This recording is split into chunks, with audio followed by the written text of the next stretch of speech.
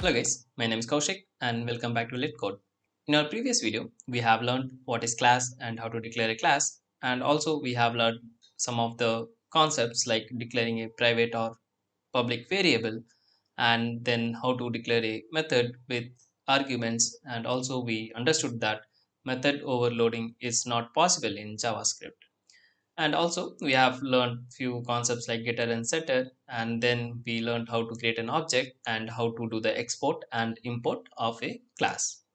So that's absolutely fine. What i left over there is this um, like we can create a private variable right? So similarly we can also create a private method as well. So here i'm just going to take the same example. So class mobile and here I'm going to say oh sorry it should be lowercase c. Okay.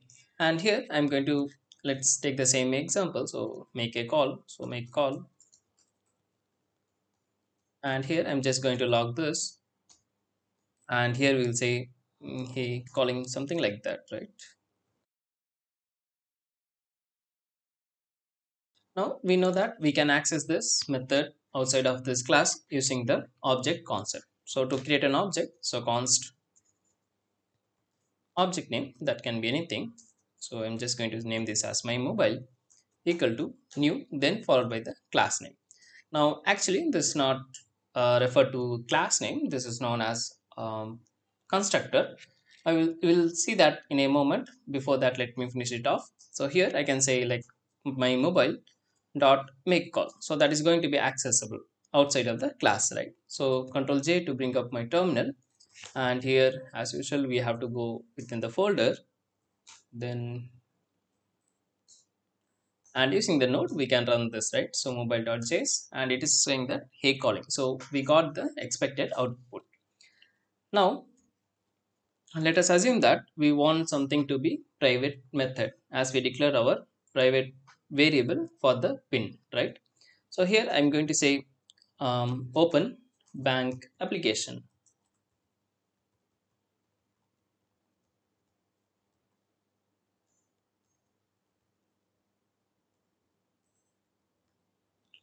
Okay so this bank application i don't want anyone to use other than me. Then i can make this method as a private so the syntax is very same. We have to use this hash. That means it is going to be private method. Now if I try to call this,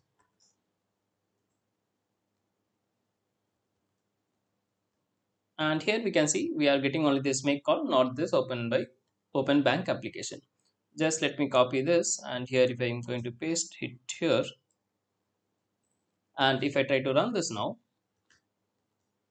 of course, I will end up with error saying that unexpected token syntax error. That means, of course, we cannot access the private methods outside of the class, right?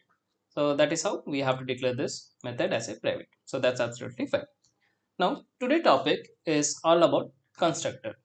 So basically, a constructor enables you to provide any custom initialization that must be done before any of the method that can be called or an create an object. So what does really means? We will see that using a um, example. So assume that here this bank application we are not able to access outside of the um, class because it's private. So that's not a problem. Let us assume that we are going to give this as i mean we are going to make this as public now. Now even if it's public i don't want anyone to use. Only i have to use. So i'm going to set a pin now here I'm just going to declare a variable called pin. Pin also should be private, right? So because if we make the pin as public, of course anybody can use that. So here I'm going to make the pin as private. Now here I'm going to check a condition. So if if the pin is equals to 1234 and then I have to say open application or else I will say access denied. So here I'm going to type else and then console.log access denied. Something like that right? That's fine. Before running this I have to call this. So here I can say let me comment this one and here I can say my mobile dot open bank application. Now if I'm going to run this it is going to say access denied by default because of course we are getting in the else condition. But why this happening is because in the if condition we are checking this pin if it's equal to 1 2 3 4 but by default we didn't set any value to this pin. That means it is going to be undefined right? To check that of course we can use this type of. So here i can say type of then followed by this pin. So we should use this keyword. That means it it refers to the current class right uh, if I try to run this, it is going to say undefined. So that means it will come and see in the if conditions. So of course, of course, pin is not 1, 2, 3, 4, it's undefined. So by default, it is going inside the else condition. So here I can write another if and say that it should not be also undefined. So here I can say this dot pin not equal to undefined. Now if I try to execute this, of course we will not get any output. But how I want my application to behave is if the pin is correct, we want to open the application. If it's going to be wrong, then I can say it is, I mean, access denied, right?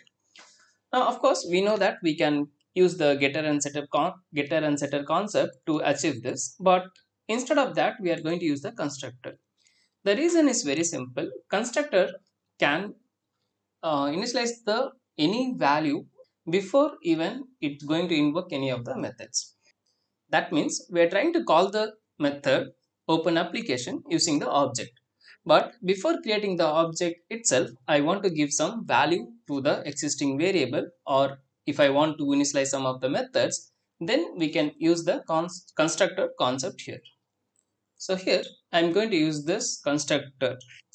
Now in Java, we can say the constructor is actually the class name, right? But in terms of JavaScript, here we have a keyword called constructor and then it is going to be like this.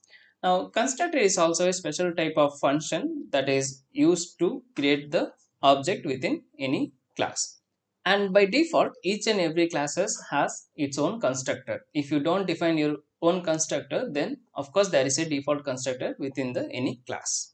Uh, let us assume that in the constructor, I'm going to get a pin right? So i'm just going to get a pin and i'm going to assign the pin to my this variable here. So here i can say this dot pin. So this keyword of course we know that it refers to the current class. That means whatever the value or the function or the methods we have we can of course access those using this keyword here. And here i'm going to say this as pin. So whatever the pin we are going to receive from our constructor we are setting that value to this particular pin now, if I'm going to create an object for this and this place is known as constructor, right? So here I have to pass my pin. So if I mouse over, here you can see it's asking for us to give a pin, right? So here I'm going to say 1, 2, 3, 4. And if I try to run this now, it is going to open our application. But in case if I'm going to give the wrong credential or the wrong pin, then it should not be open and it should say that access is denied and we are getting this number because here we are typing this uh, type of pin right? So that's why we are getting this number. So that's it right? It's very easy to understand that constructor is used to initialize any variable in the given class. Now we know that method overloading is not possible in javascript. Similarly can we do the constructor overloading? Let's see what happens. Now assume that instead of giving only the pin we want to make our application more secure. So we are going to ask for the pin as well as the username right? So here i'm going to say constructor and here i'm going to pass another argument as username right?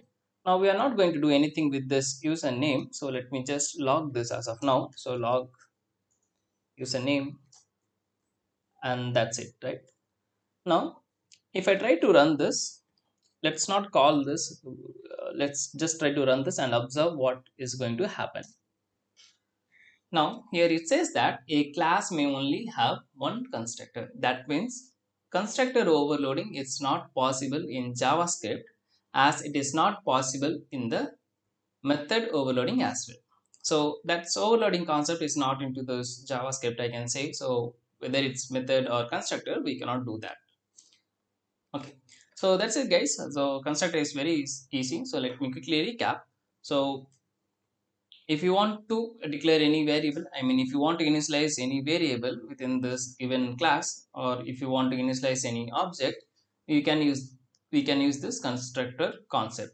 Now constructor is also a special method for creating an initialization an object created within any class. By default, even if you create or don't create, of course it is going to be have a constructor in every classes. So that's it guys. Thanks for watching. See you in the next one. If you have any doubt, please do let me know in the comments so that I can make a separate video on that. And in the next video, we will learn about super keyword and also the inheritance concept. See you very soon.